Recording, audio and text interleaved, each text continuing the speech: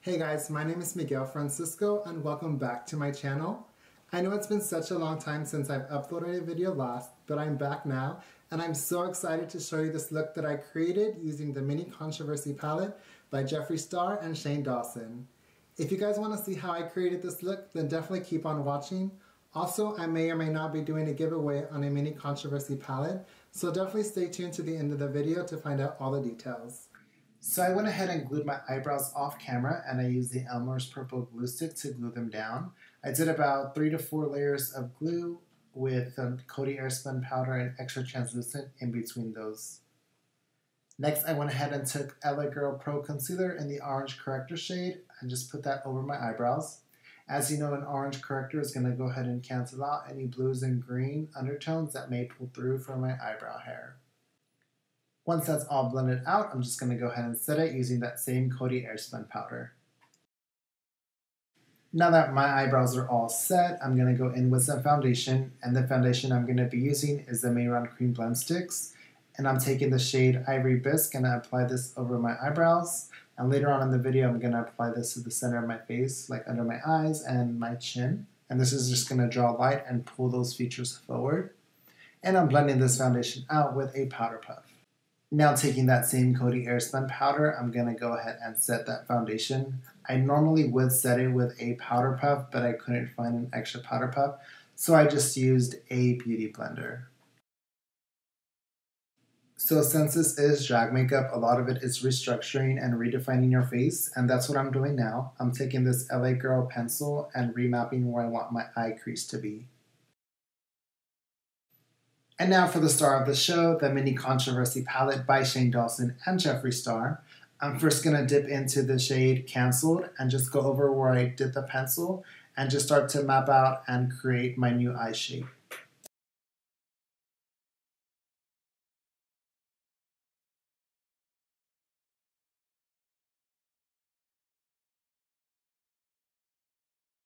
Once I have the desired eye shape and color payoff, I'm going to go in with the next shade, which is the Simulation. And this is more of a royal blue shade, and it does have a little bit of shimmer in it. And I'm going to keep this a little bit lower and on the bottom of that eye crease, just to further intensify that depth and dimension of that gradient effect.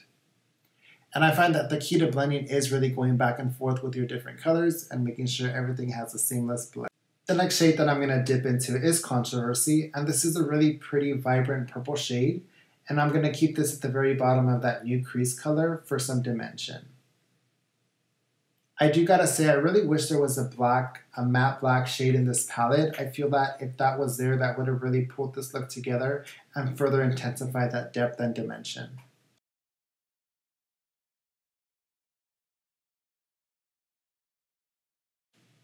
Now that everything is placed and I have that eye shape that I want, I'm just going to go back in with the brushes that I used previously with no additional product and make sure everything has a nice blend to it.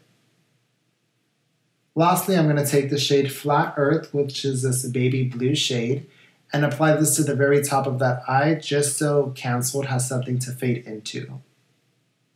Moving on to the face, I'm taking that same color corrector from LA Girl and applying this to wherever I would have um, facial hair. And like I mentioned before, this is just going to help cancel out those blues and green undertones from my facial hair. Next, we're going to just set it with that same Coty Airspun powder just so nothing mixes and moves around once I apply foundation.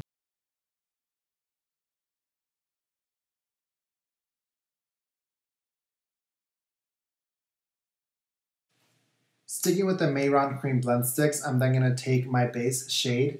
I do gotta say this is a little bit darker than what I would have liked, but I am going to make this work with the highlight shades that I'm going to use as well as the powders to set my face. I'm then just going to blend that out using a powder puff. I do have different powder puffs for each of the shades. I have one for my highlight shade, one for my base shade, and then another one for my contour shade, and I just use them accordingly. Now that that's all blended out, I'm going to go back in with my highlight shade, which is the Ivory Bisque, and apply this under my eyes and over my lip. And what this is just going to do is it's going to bring light to the center of my face and pull those features forward because as I said before, you are kind of redefining and reshaping your face. So a lot of this is playing with highlights and shadows and contours and just creating that face shape and structure that you want. And now, just like our eyes, we need to add some depth and dimension to our face. So I'm going to go in with the shade Medium Ebony and apply this to create some new cheekbones. I'm also going to use this shade to cut down my jawline and create a more soft and feminine face shape. And apply this under my chin to create a shadow there so that eliminates that look of a double chin.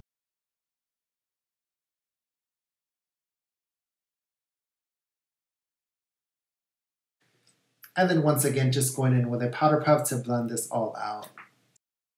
So this may look like a lot of makeup, and that's because it is. It is drag makeup, and what I'm doing is I'm creating a female illusion. So you typically wouldn't use the same amount of makeup that I'm using, but the concepts still apply with shadows and highlights for an everyday makeup look. So now I'm going to go in with a little bit of a lighter shade than what I use with my contour. And honestly, I think this is what should have been my base shade, but for some reason I grabbed that other one. And I'm just going to apply this shade under where I did my contour on the hollows of my cheeks, and that's just going to further intensify that shadow of the cheekbones. So just like we did with eyeshadows, I'm going to go in with my foundation powder puffs and make sure everything is blended and to the capacity of pigmentation that I want. And that's just what I'm doing. I'm going back and forth with the different colors and kind of overlapping each of them just so they blend smoothly. And now to cut this nose down and make it a little bit more pinched and narrow, I'm taking that contour shade and applying it on the inner sides of the bridge of the nose, kind of a little bit more closer together than a normal everyday person would do. And I'm just blending that out with an eyeshadow blending brush. And then I'm just going to take that highlight shade from before and put that down the center of my nose. So now that our foundation is blended out, we need to ensure that it lasts all night we can do this by setting it with powders. And what I'm going to do first is use that Coty Airspun powder in translucent extra coverage and apply this where I applied my highlight shades or my lighter shades of foundation. And later on, I'm going to go in with a Ben Nye powder in the shade Buff and apply this in the same places where I applied my lighter foundations. And this is just going to further bring out those highlights. And now for the rest of my face, I'm going to take a Ben Nye Luxury Powder in the shade Beige Suede and really use this to ensure that my foundation is locked into place. In the drag community, they say this is beating your face because you are applying a good amount of pressure um, on that powder puff to your face to ensure everything is locked in. Because as you know, drag queens are performers and they perform on stage under lights and they're dancing and, and they do sweat, so they really want to make sure that that foundation lasts all night. And here's where I'm taking that other Ben Nye powder in the shade Buff and applying this to the same highlight shades as I did before. And this powder does have more of a pigment shade, so this is really going to pull those highlights um, that I did with the foundation, pull them through and intensify them. I'm also applying this under my cheekbones, and this is just going to do the same thing that it did with the cream foundation. It's just going to cut that cheekbone to make it a little bit more of a dramatic um, contrast.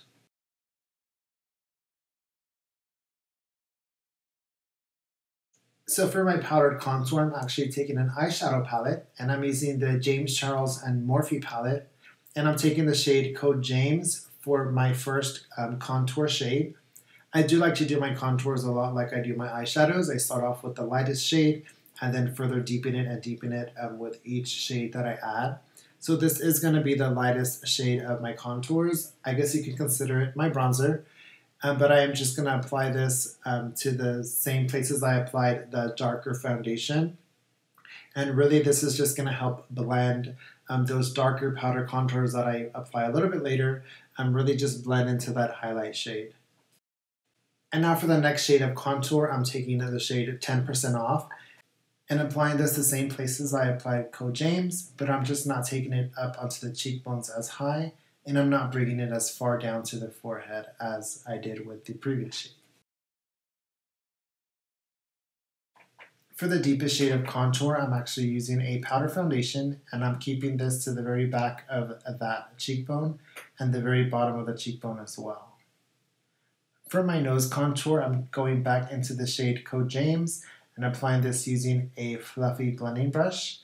And I'm then going to clean up the edges of that nose contour with the Ben Nye powder in Buff. And for my nose highlight, I'm going to take MAC's Shimmering White and apply this down the center of my nose. And the pure white pigment of this contrasted to the nose contour is really going to help exaggerate that nose and make it look a lot slimmer. And for blush, I'm going to take the blush in the shade Pamplemousse, and I believe this was a Jaclyn Hill and Becca Cosmetics collaboration. Now that my face is pretty much done, I'm going to go back into my eyes and kind of touch up what I feel needs to be touched up and what I feel needs to have a little bit more pigment and color payoff. I'm also going to clean up some blending as well.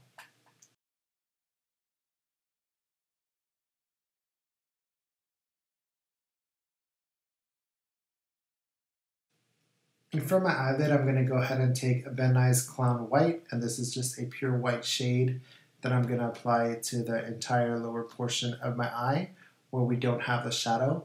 This is also going to help clean up that purple shade that I applied and make that line nice and sharp.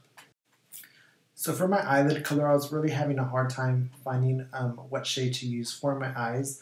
I did try to use um, Flat Earth, but I didn't feel like it was giving and portraying the color story that I was really going for. So I just went ahead and set that clown white with some translucent powder and skipped on over to eyeliner.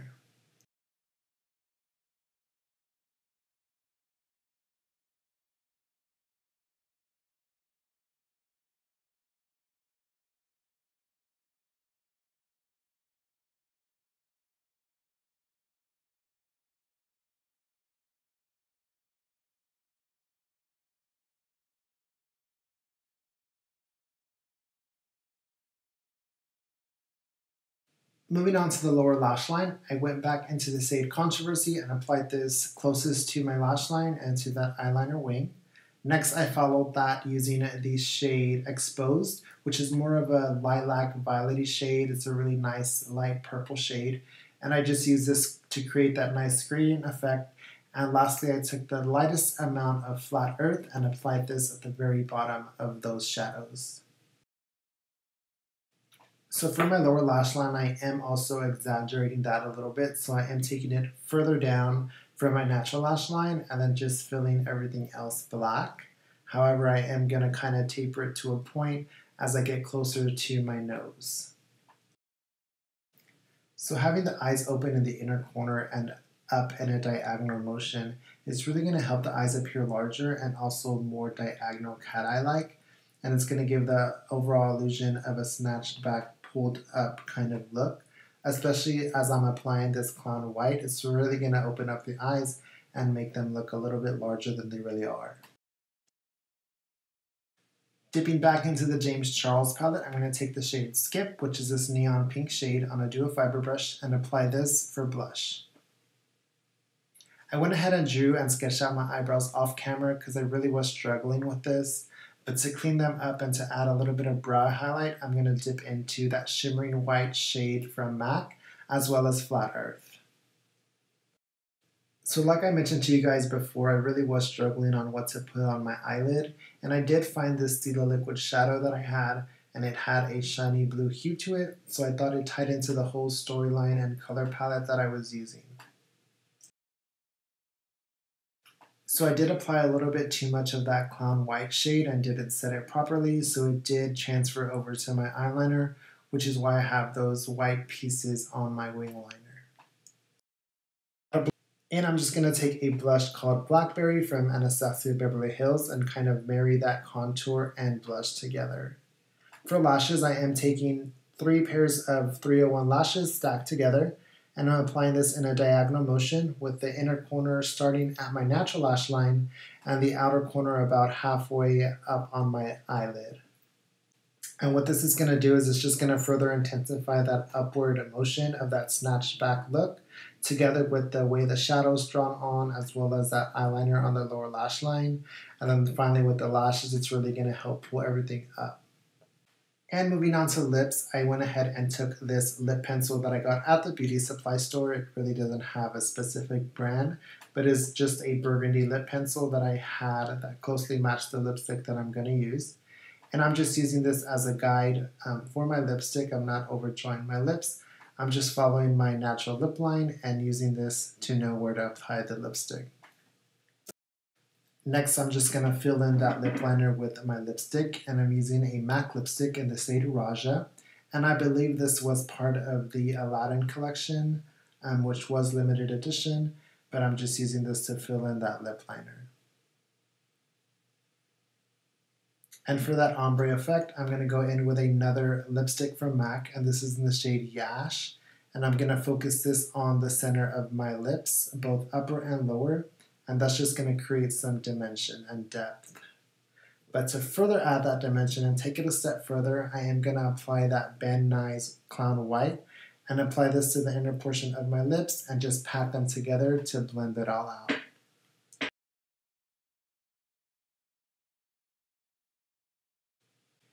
And now that the lips are done, we are pretty much done with this look. I'm just going to go back in with some finishing touches under my eyes.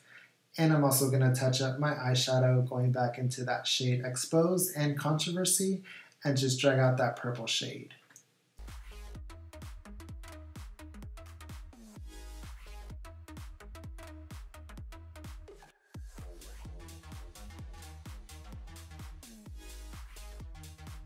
Hey guys, thank you for sticking around this far in the video. As mentioned, I am going to be doing a giveaway on the Mini Controversy palette, and all you have to do is be subscribed to my YouTube channel, give this video a thumbs up, and drop an orange heart in the comments down below. I'm also going to be doing another giveaway on my Instagram, which is at Miguel Francisco, I'll have more details in the description box down below. As always, thank you so much for watching. I hope you enjoyed this video, and I'll see you next time.